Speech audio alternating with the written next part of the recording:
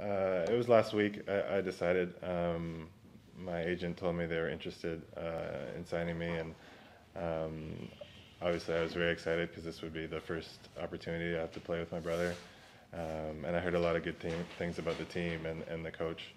Uh, so it only took me, I think, one day to decide to come, and uh, yeah, so it was it was a pretty pretty quick decision. I think right now I'm kind of focused on, on learning learning my teammates and, and learning the system. Um, I think I knew coming in uh, that the team was was already pretty good and, and, pretty complete, and I just wanted to come in and, and help any way I can. So um, whatever the team needs me to do, I'm I'm I'm, I'm there for for that. We only have I think 11, 11 games left, and um, hopefully after the win uh, a couple of days ago, we can go on a, a good run.